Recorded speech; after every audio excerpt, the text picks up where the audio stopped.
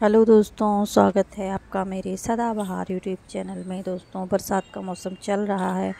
आप देख सकते हैं, इनको ज़मीन में लगाया हुआ है तो इनमें ज़्यादा वाटरिंग हो गई है। लेकिन कोई दिक्कत की बात नहीं है, जब भी धूप निकलती है तो इसका पानी सूख जाता है। इसमें महीनों तक पानी डालने की भी ज़रूरत नहीं है, क्योंकि जयपुर में बहुत ज़्यादा बारिश हो रही है। लेकिन इसमें फूल आके जो सूख गए हैं, हम समय समय पे उसकी कटिंग करते रहेंगे। ये जुलाई का लास्ट मंथ का टाइम चल रहा है। आज इकतीस तारीख हो गई है। तो आज हम इसकी थोड़ी थोड़ी सी रोमिंग कर देते हैं। बहुत सारे फूल आ गए थे। आने के बाद वो इस तरीके से सूख गए थे। तो आप इसको थोड़ा सा नीचे से कट कर दीजिए। कट करने के बाद आप देख सकते हैं, इसमें से सारे फूल हट गए हैं। क्योंकि इसमें बहुत सारे फूल खिले थे, लेकिन खिलने के बाद ये मुरझा गए। तो जब तक आप इनकी कटिंग नहीं करेंगे, तब तक इसमें नए फूल नहीं बनेंगे। इसलिए आप इस तरीके से जो भी इसके सूखे पत्ते हों और जो भी मुरझाए हुए फूल हों, उसे समय समय पे हटाते रहिए। अगर आप उन्हें नहीं हटाएँगे तो फिर इसमें नई कलियाँ और नई ब्रांचेस नहीं निकलेगी। जैसे ही हम इन्हें कट करते हैं, वहीं से कुछ ही दिन में नया नया फुटाव हो जाता है और ये प्लांट नई पत्तियों से भर जाता है। और नई पत्तियाँ आते ही फिर नए नए फूल भी आने लगते हैं। इन सब की मैंने पहले ही कटिंग कर दी थी। ये देखिए आप, इनमें सभी फूल आके जा चुके हैं। अब हम इसकी कटिंग कर देंगे और कुछ ही दिन में आप रिज़ल्ट देखेंगे कि इनमें कलियाँ बनने लगी हैं। बरसात के मौसम में थोड़ा हमें इनका ध्यान रखना पड़ता है क्योंकि इनमें ओवर वाटरिंग हो जाती है। अभी तो दो दिन से बहुत ज़्यादा बारिश हो रही थी तो मिट्टी बिल्कुल गीली है। आज थोड़ी थोड़ी सुबह धूप निकलने लगी है तो इसकी मिट्टी सूख जाएगी तो हम थोड़ा सा इसकी गुड़ाई कर देंगे। गुलाब के पौधों में बहुत ज़्यादा केयर करनी पड़ती है और संभल के काम करना पड़ता है। आप देख सकते हैं, मैंने किस तरीके से पास पास में तीस गुलाब के प्लांट लगाए हुए हैं तो इसका ध्यान रखना, गुड़ाई करना, कटिंग करना काफ़ी मुश्किल होता है, क्योंकि ये बिल्कुल पास पास लगे हुए हैं तो काफ़ी सारे कांटे मेरे चुप जाते हैं। इसमें बहुत सारे कांटे होते हैं। लेकिन ये फूलों का राजा है, इसलिए मुझे पसंद है। आप देख सकते हैं, इसकी मैंने पहले ही कटिंग कर ली थी। तो इसमें किस तरीके से कलियाँ बन गई हैं, जो फूल आके सूख गए हैं, उन्हें हम कट कर लेंगे। ये देखिए, इसमें कितने सुंदर सुंदर फूल खिल गए हैं। मेरे पास बहुत सारे कलर के फूल हैं, गुलाब के। ये देखिए उन्हीं में से एक ये रेड कलर का है। रेड में भी मेरे पास बहुत सारी अलग अलग तरीके के वैरायटी हैं।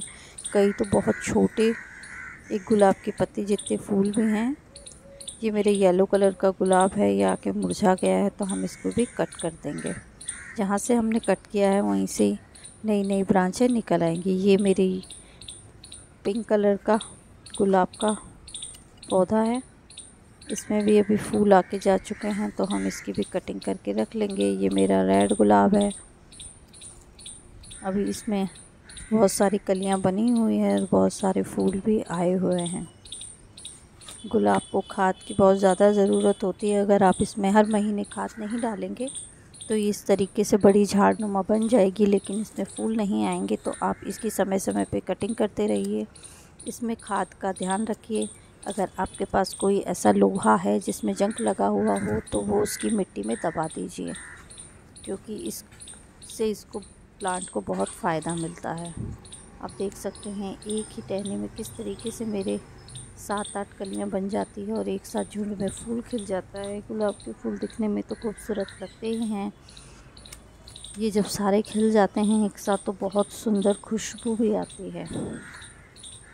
आप चाहें तो इन्हें गमलों में भी लगा सकते हैं, इनसे एक टेरिस गार्डन भी बना सकते हैं, लेकिन मेरे नीचे ज़मीन में वो जगह बहुत ज़्यादा है, इसलिए मैं इन्हें ज़मीन में ही लगा के रखती हूँ। ज़मीन में लगाने से इसमें बहुत ज़्यादा फ्लावरिंग होती है और ये प्लांट बड़े भी हो जाते हैं। आप इसकी हाइट देख सकते हैं, ये चार फुट का प्लांट हो चुका है तैयार, ये काफ़ी लंबा है। मैं ऊपर से इसकी समय समय पर कटिंग करती रहती हूँ। ये मेरे ऑरेंज कलर का गुलाब का फूल है, आप देखिए कितना खूबसूरत है। अभी इसमें कली बनी हुई है, खिला नहीं है। इस वजह से आपको ये दिख नहीं रहा है। आप देखिए, मेरे पास कितने सारे प्लांट हैं, काफ़ी ज़्यादा प्लांट तो रेड कलर के ही हैं, क्योंकि मैं इन्हें तीन साल पहले जब ख़रीद के लाई थी तो मैं इन्हें पच्चीस पच्चीस रुपए का ख़रीद के लाई थी। तब इसमें फूल नहीं खिले हुए थे तो माली ने कहा था, कुछ पता नहीं है कौन से फूल खिलेंगे, कौन से नहीं। लेकिन जब मैं ख़रीद के लाई और एक साल बाद इनमें फूल आने शुरू हुए तो peach colour orange colour yellow colour red colour सभी कलर में इसमें फूल आने लगे। अगर आप नर्सरी से फूल खिला हुआ पौधा लाएँगे तो वो आपको 100, 120, 170, 180 तक का मिलेगा। लेकिन मुझे बहुत सारे गुलाब के पौधे चाहिए थे तो मैं सस्ते के चक्कर में नर्सरी से पच्चीस पच्चीस रुपए के पौधे ले आई जिसमें बिल्कुल फूल नहीं थे। उससे कोई फ़र्क नहीं पड़ता है। अगर सारे रेड भी हो जाते तो भी गुलाब के फूल अच्छे ही लगते हैं। तो आप देख सकते हैं किस तरीके से मेरे गार्डन में फूल खिले हुए हैं। आपको मेरा चैनल कैसा लगता है? आप मुझे कमेंट करके बताइए। आप मेरे चैनल को लाइक कीजिए शेयर कीजिए। अगर आप मेरे चैनल में नए हैं तो आप मेरे चैनल को सब्सक्राइब कीजिए और मुझे बताइए आपको मेरे वीडियोस कैसे लगते हैं। मैं अपने गार्डन के सभी फ्लावर्स, सभी पौधे आपको दिखाती रहती हूँ। उनके बारे में मुझे जो भी जानकारी है, मैं वो आपके साथ शेयर करती हूँ। तो आप मेरे चैनल को ज़रूर सब्सक्राइब कीजिए शेयर कीजिए और लाइक कीजिए ताकि मेरे आने वाले वीडियोस आपको समय समय पे देख सकें। देखिए, जहाँ से मैंने कटिंग करी थी, वहाँ से नए नए फुटाव हो चुके हैं और इसमें कुछ ही दिन में फूल खिलने लगेंगे जब ये पूरे फूलों से भर जाएगा तो मैं आपके साथ इसका वीडियो फिर से शेयर करूँगी। अभी मैंने इसकी कटिंग करी है तो इसमें आपको बहुत ज़्यादा फूल देखने को नहीं मिल रहे हैं। आप देख सकते हैं, इसमें हाइब्रिड भी है, देसी गुलाब है, काफ़ी सारे फूल खिले हुए हैं।